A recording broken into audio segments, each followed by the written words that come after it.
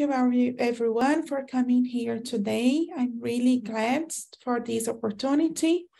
Glad to share my knowledge on active learning for natural language processing. Uh, my name is Natalia Rezende. And before we start the course, I would like to talk a little bit about, um, uh, about me. Um, so currently I'm a research fellow at CeADAR, I work with Dr. David Lillis and also Dr. Tamara Matthews on the Transpire project. This project uh, aims at analyzing, classifying, and extracting knowledge from uh, texts in the regulatory domain. And I am the researcher responsible for building an active learning system um, for multi-label classification texts in the regulatory domain. Uh, before this role at CeADAR, I worked uh, four years in Dublin City University. I was based in Dublin City University, and I worked on many projects in the field of natural language processing, but mainly focusing on uh, machine translation and machine translation evaluation. But um, so this is the first time that I work on a project involving active learning. So then I have to be honest and say that I am not like a, a really highly experienced researcher in this field. Um, but I'm still, I'm still, actually, I'm still learning. I'm still um, doing research in this topic. And I think this course is going to be a very good opportunity to share with you what I've learned so far and also to discuss with you. So then I think it's going to be kind of um, learning from each other, right? Uh, I'm going to show you, not in this session, but then in the next sessions of this course, um, a little bit about my work and the strategies that I use for to be learning. Uh, and then in this session is going to be a, a, more quick one because it's going to be just an introduction to active learning. Um, and then um, in the next session, next uh, Friday, we are going to see the most common techniques used, um, uh, mainly uh, focusing on uncertainties, uncertainty sampling um, for natural language processing um, use cases. In chapter three, we are going to have a hands-on activity and also we also talk about the user interface.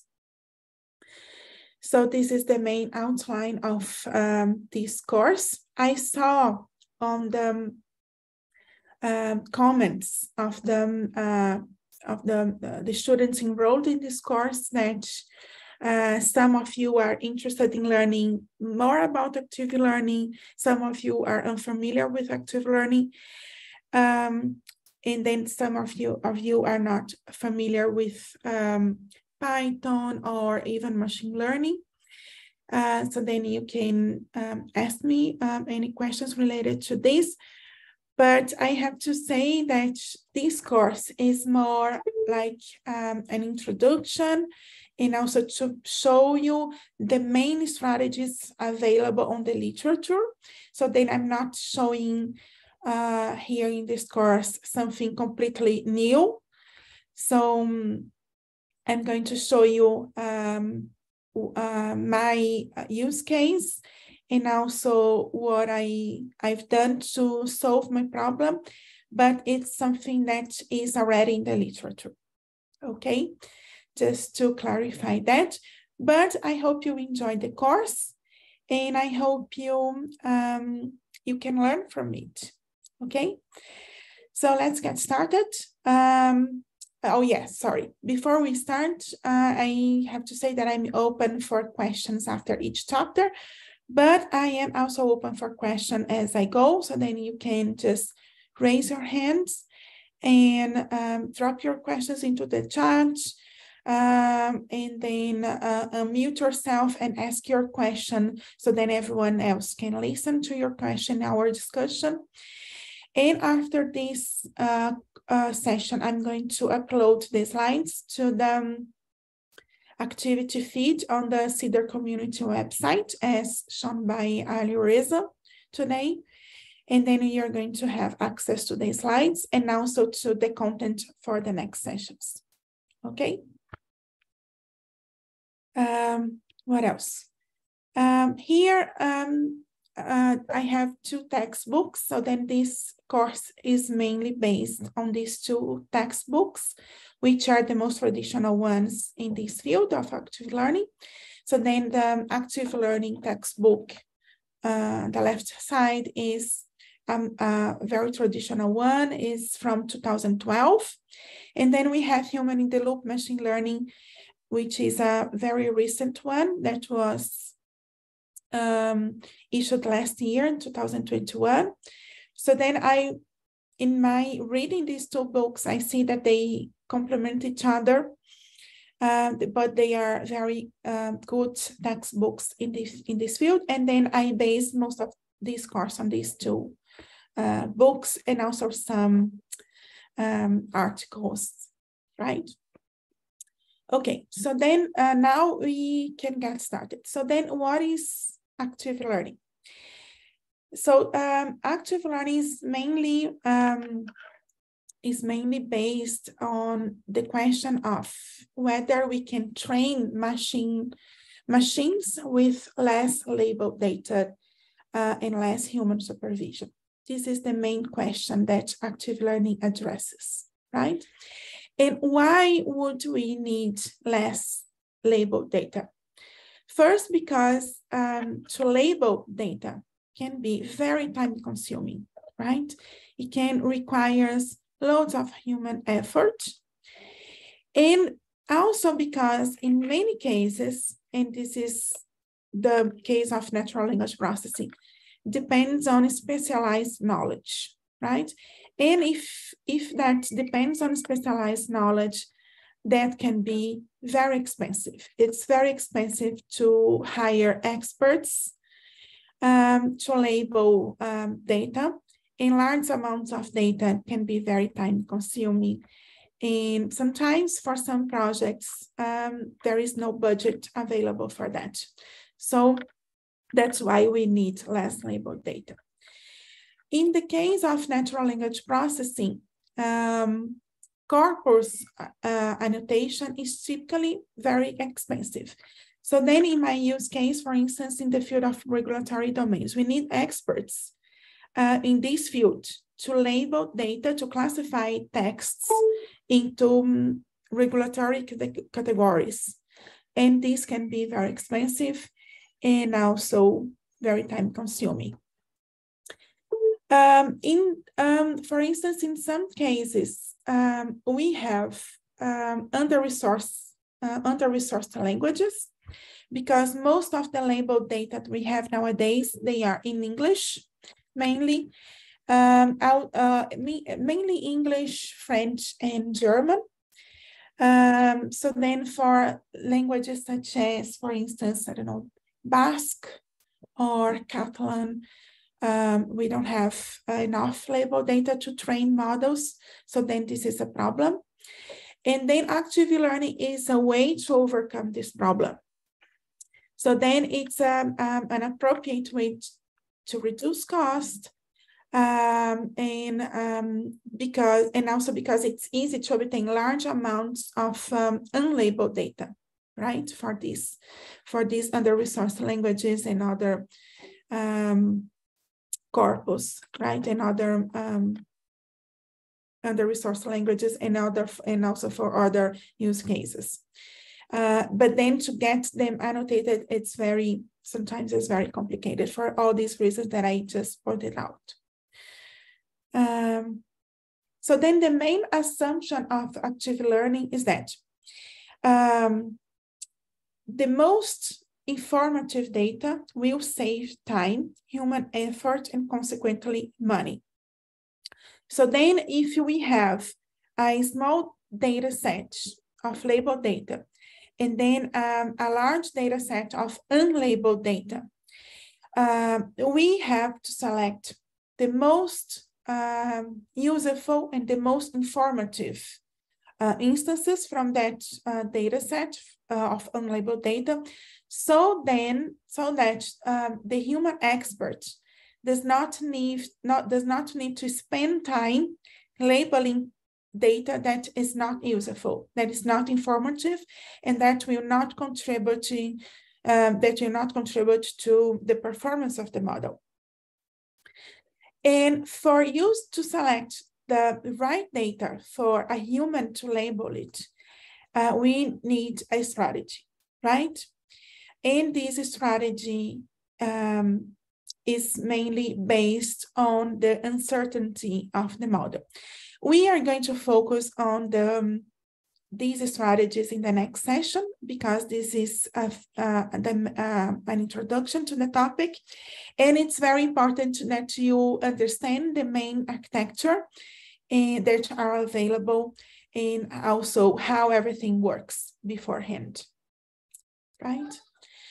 So then um, active learning, the main architecture, what do we have? So first we have a machine learning model that is trained on available label data, right? This can be a small data set.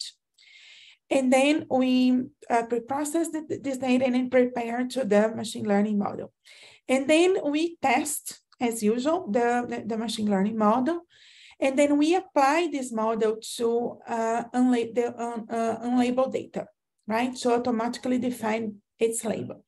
If the, the, the performance of the model is, is good in this task, then we can extend this, this, um, this classification task to unlabeled data set and deploy the model.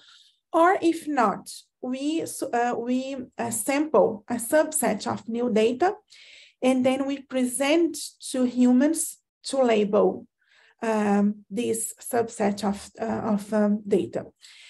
And then um, this um, newly uh, labeled data set is then sent to the model again, and then the model is retrained. So then um, an active learning workflow uh, involves humans and the machine taking turns in classifying texts or classifying instances of uh, data set uh, into categories. Any questions so far? No? Okay. So then here, uh, um, comparing active learning with passive learning, we have uh, actually passive learning is the, the regular workflow in a in a machine learning um, in a machine learning um, project, right? So then we have some data here, some labeled data.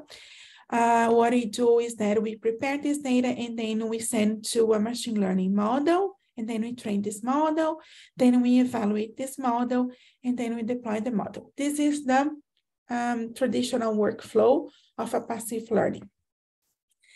The main difference in um, uh, between active learning and passive learning is that after evaluating the data, now the model, uh, if the model is not um, accurate enough, and probably uh, it's not accurate and, enough because you have a small data set, so then we get unlabeled data and then we select the most useful instances from that um, um, uh, data set of unlabeled data.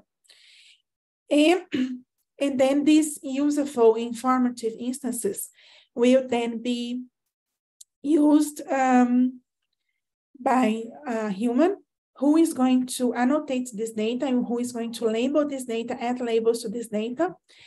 And after adding label to this data, um, uh, this is sent to the main um, data set. And then the model is retrained. And then this loop continues until we get um, until we get the performance and until we reach our objective. Okay, so this is the main difference between active learning and passive learning. Okay, so the goal is to create, increase the classification performance by interacting with humans who will label the most informative instances, right? And as I said, uh, the most informative instances are defined based on certain strategies. Here I have, for instance, an example. Um, uh, in my case, I, I uh, in classifying uh, texts in the regulatory domain. So uh, we have, I have here some re good results reducing human effort. For, so for instance, here I have comparing 700 instances with um, um, passive learning and active learning, we can see here. I get uh, an F1 score of 0.8 with passive learning. And with the same uh, amount of data, I get a perform, I increase performance with an F1 score of 0.85. Um, same here, I got um, a performance with passive learning, uh, passive learning of um, 0.65 F1 score with 500 instances, and then uh, I increased performance of 0. Uh, uh, 0.8 with 500 instances with the same amount of data. So then this means that uh, for me to get um, the same performance uh, with passive learning, uh, the same performance with passive learning, I would need less data using um, a strategic selection of data, right? So this is the main idea to reduce uh, the error rates and also to reduce and increase the performance of a model um, using uh, less data. This is the main idea. Okay, so um, so as I said, to, uh, we use active learning um, when we need to annotate data and there is no budget or time, when you must label domain-specific texts in the regulation domain, medical domain, in hiring human experts can be very expensive. But you can also um, improve, uh, you know, you can also use active learning just to improve the performance of your model faster, right? So then it's not always that you have to use a human in the loop, but you can also use a strategy here just to select the most informative uh, instances uh, um, of your unlabeled data set and then improve the performance of your model faster. This is another use case and that and that could be really useful um, for most of the um, most of the time.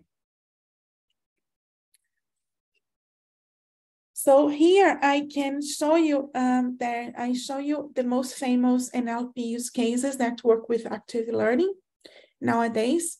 So then, for instance, we have um, search engines like Google search. So then when we ask a question to Google, we have a list of links that we can uh, select. And then once that we click on a link, for instance, the second link or the third link, we are probably labeling that data for the engine because we are telling that um, engine that um, that link is uh, the most appropriate for for to answer your question right? So um, search engine are one of the most um, most famous and most used um, use cases in um, um, NLP active learning that we have um, nowadays, and also it involves a human in the loop. A second example uh, is um, Amazon review when we have to uh, rate, star rate products on Amazon. Uh, we are also labeling the data and we are also interacting with the system because when we label our data and then we add um, sentiment to that data, so then we are contributing to a machine learning model to infer the sentiment associated with that product uh, on Amazon website. So then this is also another very famous use case, um, active learning for NLP use case. Um, okay, um, okay. So there are two main um, architectures, active learning architectures nowadays. Nowadays, um, uh, which is called stream-based. Stream-based is mainly used when we don't have, um, when unlabeled data arrives uh, continuously. And when they are not um, available, they are, they are, when we don't have a collection of unlabeled data uh, ready available, right, for us to apply a strategy. So this is the, the case of crowdsourcing, um, that uh, unlabeled samples arrive uh, sequen uh, sequentially in the form of continuous and rapid strings. So then, um, then uh, we apply an active learning strategy uh, on each of the of the labels um, as they arrive, right? Um, and then we have to decide, and the, uh, the strategy have to decide if it is an informative instance or not. So this is the stream-based um, strategy.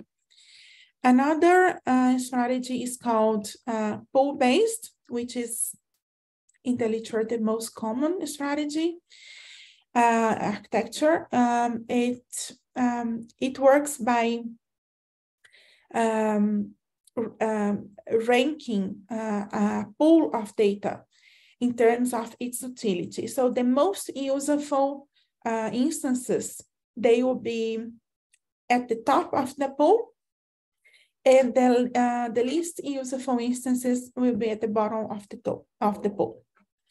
Um, this is the most common architecture. Um, and then I'm going to show you in this course um, examples of this um, architecture. Okay, so then the main difference between stream-based and pool-based is that stream-based obtains one instance at a time, uh, sequentially from one stream data source, and then the pool-based um, evaluates and ranks the entire collection of unlabeled data. So then this is the main difference between the two uh, strategies. Okay. Um, okay, so then uh, if you don't have questions, it's already time for a quiz.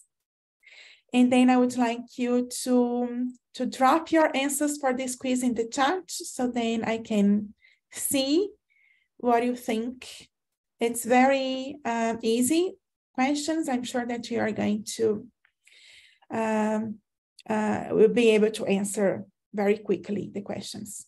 Any questions so far? No? Okay, so I'm going to continue.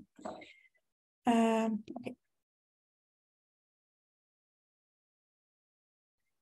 Okay, so then active learning. Just a moment. Um, I have to.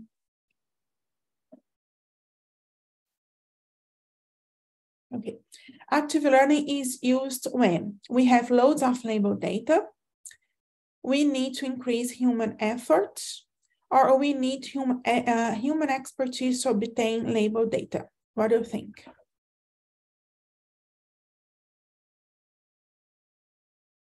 Yes, everyone. Letter C. Yes, we need human um, expertise to label um, uh, to label data.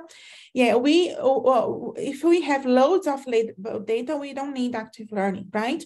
Unless you use active learning just to get a better performance faster, right?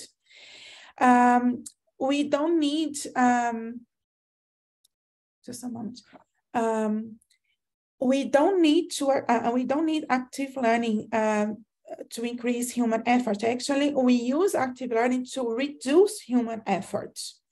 And we need um, active learning um, when we use uh, when we need to interact with a human to obtain label data. All right, so then that was a very easy one. Uh, sorry, I think it, this is the, the previous one. Okay, Stream-based learning. selects one example at a time from predictions to query, evaluates and ranks the entire collection of unlabeled data, is identical to pool-based learning, but does not involve a human in the loop. What do you think? Yes, very, very easy. Yes, uh, this is the it's A, right? A because um, to evaluate and rank the entire collection of unlabeled data is the pool-based architecture and uh, is not identical to the pool-based. And in both cases, uh, stream-based and also pool-based, you you can um, um, can involve a human in the loop, right? It's not always the case. It depends on your objective, but then in both cases, a human loop can be used, right? Okay. Uh, active learning is used only for natural language uh, processing problems.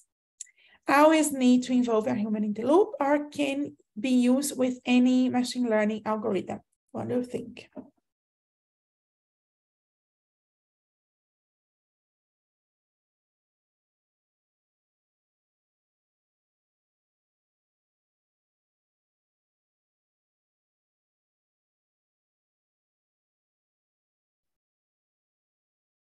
Seems a more difficult question.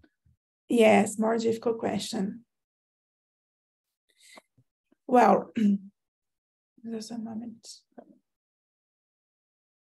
Well, as I just said, uh, depending on your, I saw some people uh, answering letter B instead of C. So the correct answer is letter C. We can use active learning with uh, any machine learning algorithm, but um, it's not always that we need a human in the loop. Um, as I said, uh, we need to involve, or we we can use a human in the loop to label the, the informative instances, but it's not always the case. I'm going to show you a case in which does not involve a human in the loop. Um, and then because we can um, use the strategy to select the most useful instances from the, from the pool uh, without a human in the loop. We can um, uh, we can uh, uh, simulate this um, this this um, this strategy, right? We can simulate the, the, the a better performance if we have labeled data, and then we just want to reach a good uh, performance faster. Okay. Um, so this is those are the main um, the main um, questions of our quiz. If you have any questions, I'm ready to answer now. And then after that, I'm going to show you what we're going to see in the next session. Any questions?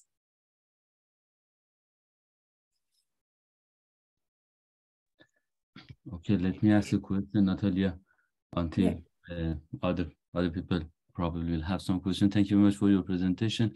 So it looks like if I get back to the example of seven, 500 and 700 data, I see when you use active learning, you get the same performance of uh, seven, 500, 700 data with 500 data plus active learning. So that's the pros. But from the other hand, human has been involved in uh, labeling. I mean, so you cannot say you have labeled 500 data. You have labeled you know, perhaps more data. So is there any kind of numbers to say, okay, if I could get to that performance using 700 data labeled data, then using the active learning, I've had 500 data labeled and plus some human labeled, but altogether it is less than the 700. Is that the case? Um, am I correct?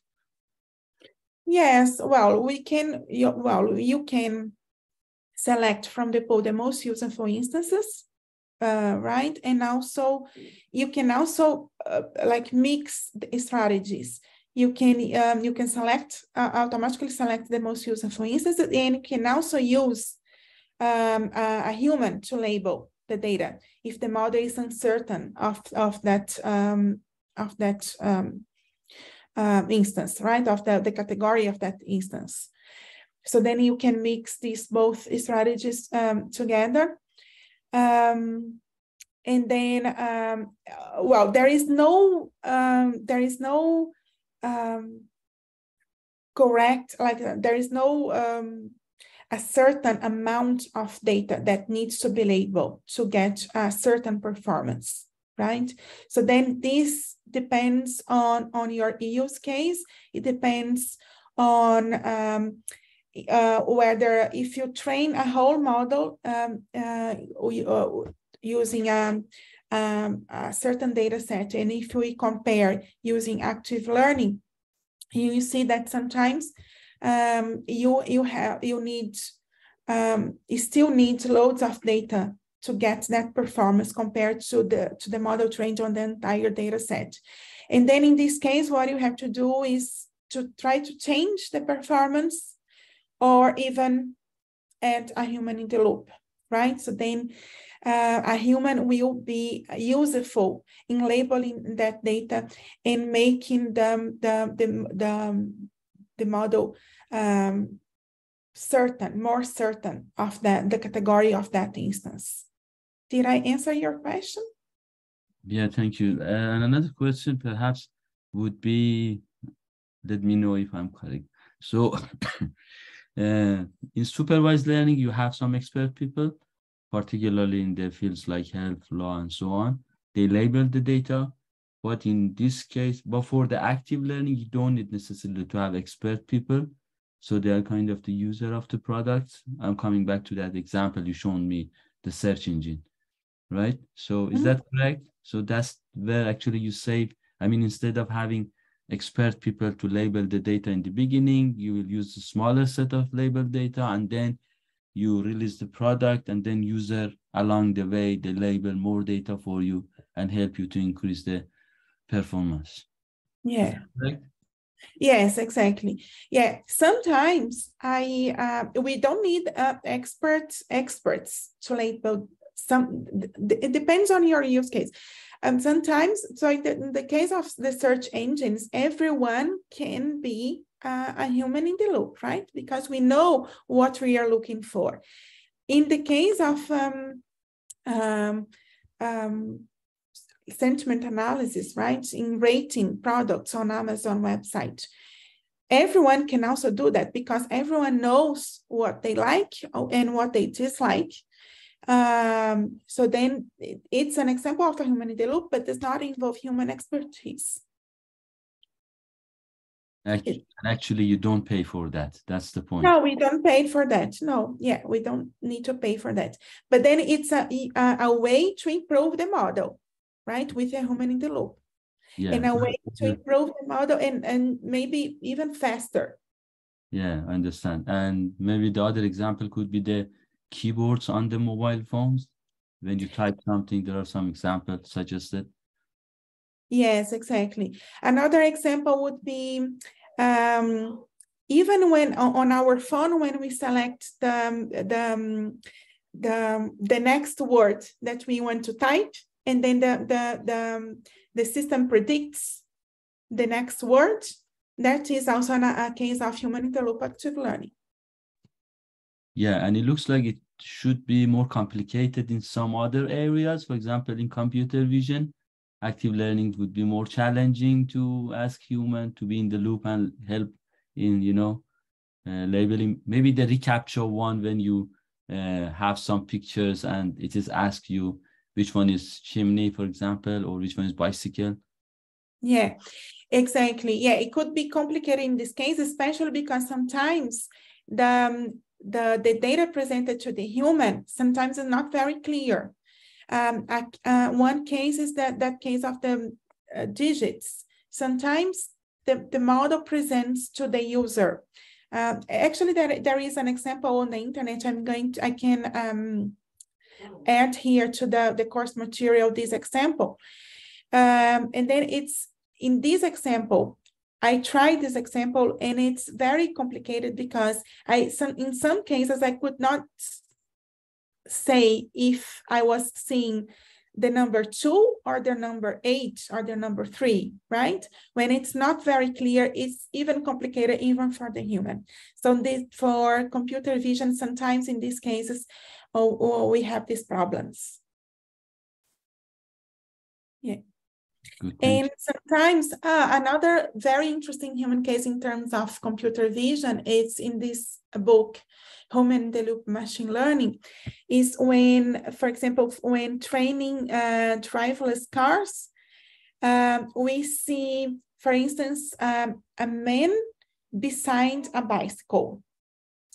And then the, the, the human needs to label that in, in relation to uh, in relation to to the picture. If not to the picture but to the image in terms if it's uh, a bicycle or a human. So then there are these ambiguous cases right? So then this is also another uh, complicated uh, case yeah, Another complicated case in terms of uh, natural language processing is multi-label classification, which is the case that I am dealing with right now with binary classification is much easier. It's possible to use all the strategies available, uncertainty uh, sampling strategies available, but with multi-label classification, it's a little bit more complicated because we most of the times need an ensemble of um, models. Sure. Uh, I'm afraid I'm asking all the question. Well, let me ask another question. If is there any ethical aspect in active learning? very similar to other AI, you know, fields? Well, I think ethics is always related to AI in, in all of the AI domains, right? Ethics is always involved. But specific to active learning, I cannot think of an ethic that is really specific to active learning, but I can research and bring examples next class. Thank you. No problem. Any other questions? No, everything's clear. So, okay, next class, we are going to see it's when the, the course gets really excited because it's when we are going to see machine learning, active learning main strategies um, and then how to sample the right instances um, to label um, for humans to label, okay? So this is the topic of the next question. And in the third um, session, we are going to have a hands-on activity, okay? So that's all for today, folks. Thank you very much. Shall I stop um, sharing and also um, recording. Yeah. Thank you very much, Natalia. No problem. If you have still have questions, I'm happy to help. I'm happy to answer. You can unmute yourself. Um, uh, thank you for the session, Natalia. I had a question. Yes. So, uh, in passive learning as well, uh, when we talk about passive learning, we're talking about that we are not looking at any relabeling after the model has been deployed, or are we looking at uh, unstructured labeling or just random sampling, relabeling uh, using experts uh, from, let's say, uh, incorrect predictions? Or are we just saying that there will be no relabeling or we're not going back to look at uh, any of the incorrect predictions in passive learning? Mm, sorry, I, I'm not sure if I understand the question. Um, you want to know if in passive learning um, it it involves certain strategy of? Uh, yeah, so uh, I, I mean to ask, like in passive learning, do we mm-hmm. relabel at all? Do we have experts look at a random sample uh, of predictions for them to uh, relabel, or do we just not have any relabeling at all? No, we don't have any labeling law. It's a regular, it's a regular machine learning workflow. We just, um, the, it's a, uh, we call it passive learning because compared to active learning, there is no strategy to um, use uh, used to select the the the the, the, the, the labels for to train the model, right? In passive learning, it's just random. It's just random. And then usually, actually, we are going to see later on, we compare the traditional workflow of machine learning we, that we call passive learning with the active learning to, to compare the performance of the two models. Uh, but then in passive learning, we, we don't use any strategies, just random. Okay, Thank select you. randomly these instances. Thank you. No problem. Thanks. Thanks for the question. Okay, thank you very much. So see you next Friday. I'm going to upload the slides to, um, to the CeADAR platform and hope you to see you all guys in the next session. Okay, bye-bye.